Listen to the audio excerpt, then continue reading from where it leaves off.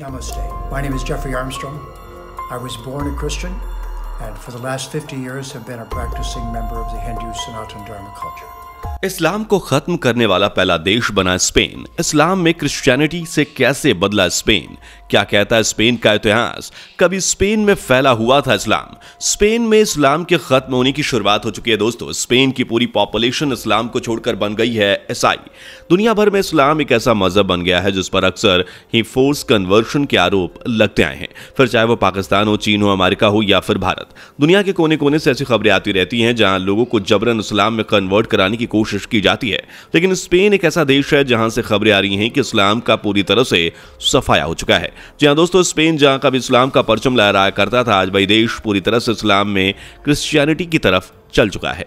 लेकिन ऐसा क्या हुआ कि स्पेन में अचानक से पूरी आबादी ईसाई धर्म में कन्वर्ट हो गई? आइए बताते हैं आज की हमारी इस वीडियो में। वीडियो को आखिर तक ज़रूर देखिएगा। वीडियो लाइक और शेयर ज़रूर कर दीजिएगा। वीडियो में आगे बढ़ें। उससे पहले, अगर आप एक सच्चे हिंदू हैं तो सब्सक्राइब करें फैक्ट मंत्रा चैनल को और बेल नोटिफिकेशन को ऑल पर लगाएँ ताकि कोई भी वीडियो मिस ना हो। दोस्तों, स्पेन एक ऐसा देश है जहाँ पूरी पूरी पॉपुलेशन क्रिश्चियनिटी रिलीजन को फॉलो करती है। लेकिन आपको बता दें कि कुछ दशक पहले स्पेन की ज़्यादातर आबादी इस्लाम को मानती थी, जिस तरह से भारत पर लगभग 600 सालों तक मुगलों ने राज किया, उसी तरह से स्पेन और पुर्तगाल पर 700 सालों तक इस्लाम का रूल रहा। आइए अब आपको आगे बताते हैं।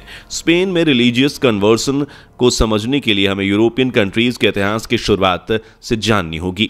साल 117 एडी के दौरान पूरे यूरोप पर सिर्फ़ रोमन्स का कब्जा था यूरोप पर रोमांस ने अगले 400 सालों तक शासन किया और अपने साम्राज्य को फैलाया। जैसे जैसे रोमन साम्राज्य बढ़ रहा था, साम्राज्य की सत्ता को संभालना रोमन्स के लिए मुश्किल हो रहा था। इसलिए रोमन्स ने यूरोप में अपने शासन को दो भागों में बांट दिया। एक भाग, यानी पूर्वी हिस्सा, बाइजेटाइन अंपायर बना, जिसके शासक थे जस्टिन वन, और दूसरा भाग, यानी पश्चिमी हिस्सा, जिसे इवीरिया कहा जाता है। इसके शासक थे सीजर ऑगस्टस। साल चार सौ में उस वक्त तक यूरोप में फैली जर्मनी ट्राइब्स ने पश्चिमी यूरोप यानी कि इबेरिया में रोमन शासन को हटाकर उस पर अपना कब्जा जमा लिया। एक तरफ़ का यूरोप पूरी तरह से बिखर चुका था, उस वक्त के साथ इबेरिया पर कब्जा जमाने वाले शासक बदलते चले गए और एक तरफ़ यूरोप में पश्चिमी हिस्से में इबेरिया में सत्ता बार बार बदल रही तो वहीं दूसरी तरफ़ यूरोप में कई किलोमीटर दूर सऊदी अरब के मक्का शहर में 610 एडी में इस्लाम के आखिरी पैगंबर कहे जाने वाले प्रॉफिट मोहम्मद का जन्म हुआ। सऊदी अरब में मोहम्मद साहब ने अल्लाह के हुक्म से इस्लाम को फैलाना शुरू किया।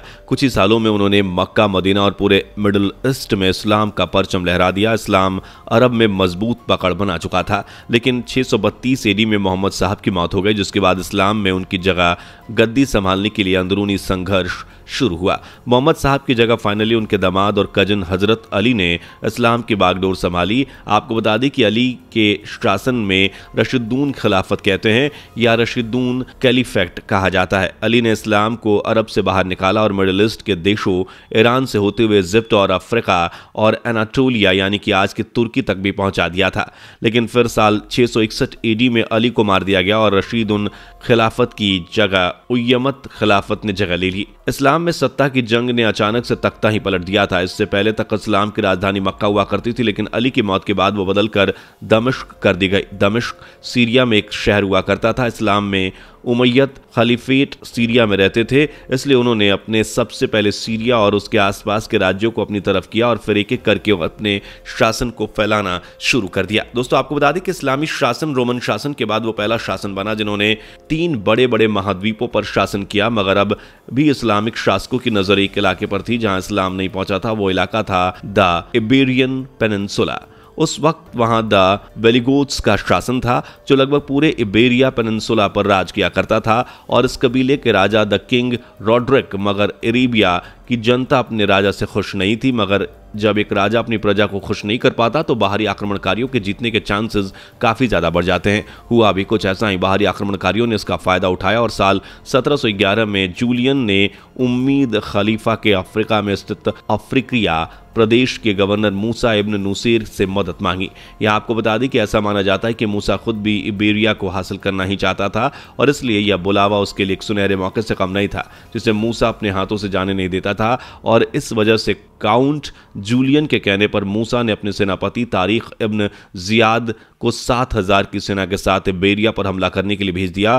ग्वाडलेट नदी के किनारे किंग रॉड्रिक और जियाद की सेना के बीच घमासान युद्ध छिड़ गया। इस युद्ध को बैटल ऑफ़ ग्वाडलेट के नाम से जाना जाता है। इस युद्ध में इबेरिया के राजा किंग रॉड्रिक की मौत हो गई और फाइनली इस्लाम ने इबेरियन पेनसुला पर भी अपनी जगह बना ली। इबेरियन पेनसुला तक पहुँचते पहुँचते उमैयत खलीफा ने धीरे धीरे करके पूरे सब कॉन्टिनेंट पर इस्लाम को काबिज कर दिया। इबेरिया का नाम बदलकर अल अंदुलस कर दिया गया। इबेरिया तक पहुँचने के बाद इस्लाम के खलीफा फ्रांस की तरफ़ बढ़ने लगे। फ्रांस पर कब्जा करने के लिए भी एक युद्ध लड़ा गया, जिसे बैटल ऑफ़ टूर्स के नाम से जाना जाता है। लेकिन इस वॉर में उमैयत को हार का सामना करना पड़ा। उसके बाद तो जैसे इस्लामिक एक्सपेंशन धीरे धीरे सिमटने लगा और यूरोप पर कब्जा करने का सपना टूटने लगा। इसी दौरान दूर बगदाद, इराक में जन्म हो गया था अल अब्बास इब्न अब्द अल मुतालिब का और उमैयत खलीफा को ख़त्म करने के लिए उन्होंने शुरुआत की अब्बासी खिलाफत की। अब्बासी खलीफात धीरे धीरे बढ़ने लगा और उमैयत खलीफा को जड़ से ख़त्म करने की ठान ली। अब्बासी खलीफात, उमैयत खलीफात से इस कदर कट्टर दुश्मन थे कि जिस किसी ने भी उमैयत खलीफात का साथ देने की कोशिश की, उसे मौत के घाट उतार दिया जाता था। मिडल ईस्ट के देशों में इस तरह से सत्ता का रूप बदलता रहा और इनके बीच की दुश्मनी बढ़ती चली गई। इराक और ईरान के बीच की दुश्मनी का कारण भी मिडल ईस्ट का यही इतिहास है। मिडिल ईस्ट में चल रहे संघर्ष को खत्म करने और उस पर काबिज होने के लिए उमैयद खलीफा अब्दुल रहमान के पास बस एक ही रास्ता बचा और वो था अल अंदलूस उन्होंने तुरंत दमिश्क छोड़ दिया और अल अंदलूस की तरफ़ रवाना हो गए। अल अंदलूस में पहले से ही अस्थिरता थी और इसी का फ़ायदा उठाते उमैयत ने अल अंदलूस पर हमला कर दिया और उसे अपने कब्जे में ले लिया और कोबोडो शहर को अपनी राजधानी बना लिया। एक तरफ़ उमैयत खिलाफत अल अंदूस के इलाके तक सीमित हो गए थे तो वहीं अब्बासी खिलाफत पूरे सब कॉन्टिनेंट अपने कब्जे में ले चुके थे। लेकिन आपको बता दें कि अल रहमान के शासन में अल अंदलूस काफ़ी डेवलप हुआ और उसने कई रास्ते और इमारतें बनाई। इनमें the great mosque of Cordoba शामिल है। इसके अलावा उसने लोगों तक पीने का पानी पहुँचाने के लिए पूरे साम्राज्य में कई एक्वेडक्ट भी बनाए, जैसे एक्वेडक्ट ऑफ़ नीरजा, मलगा अल रहमान के पास अल अंदलूस की इकलौती साम्राज्य बचा हुआ था और अपने राज्य की जनता को खुश करने के लिए उसने राज्य के लोगों को रिलीजियस छूट दे रखी थी ताकि उसका शासन सही से चल सके। इसलिए वहाँ की जनता उसके शासन को लेकर खुश थी और ऐसी कोवाडा में एक आर्थिक शांतिपूर्ण और एक ताकतवर साम्राज्य के रूप में उभार मिला। वक्त के साथ साथ अल रहमान सभी उत्तराधिकारियों ने इस नीति को अपना कर रखा, लेकिन फिर उन्नीस सौ छिहत्तर एडी में अल रहमान के पर पोते अल हकाम दो की मौत हो गई और इस वजह से उनके 10 साल के छोटे बेटे हिशाम द सेकंड को तख्त पर बैठना पड़ा। राज्य को संभालने के लिए खलीफा बहुत छोटे थे, जिसकी वजह से शासन की बागडोर राज्य के मंत्रियों के हाथ में आ गई।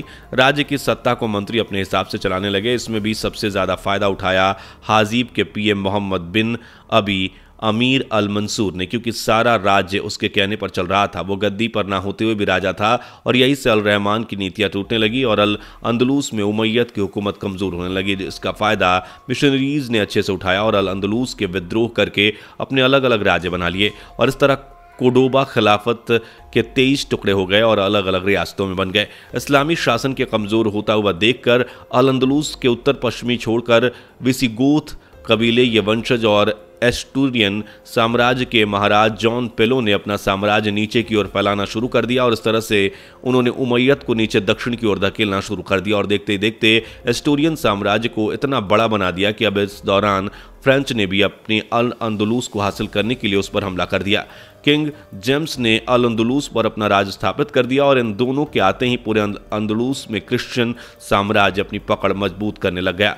उत्तर में ये क्रिश्चियन राज अपने शिखर को छू रहे थे और दक्षिण में इस्लामी राज्य दिन ब दिन कमज़ोर हो रहे थे। दोस्तों धीरे धीरे इस इलाके में इस्लामिक शासन खत्म हो गया और क्रिश्चियनिटी को बढ़ावा मिलता गया। लेकिन ये इतना आसान नहीं था। सदियों की लड़ाइयों और युद्ध हुआ, जिसके बाद इस इलाके में इस्लामिक शासन खत्म हुआ और अस्थिरता सत्ता को खत्म करने के बाद एक स्थिर सत्ता को स्थापित किया गया। दोस्तों, इस तरह से अल अंदलूस यानी स्पेन में मुस्लिम शासन खत्म हुआ और क्रिश्चियनिटी को बढ़ावा मिला। ये वीडियो आपको पसंद आई हो तो वीडियो को लाइक, शेयर और चैनल को सब्सक्राइब ज़रूर कर लीजिएगा। मुलाकात होगी अगली वीडियो में। बाय बाय दोस्तों, आपको स्क्रीन पर दो और वीडियोस दिखाई दे रही हैं। जिसे देखने के लिए स्क्रीन पर क्लिक करें।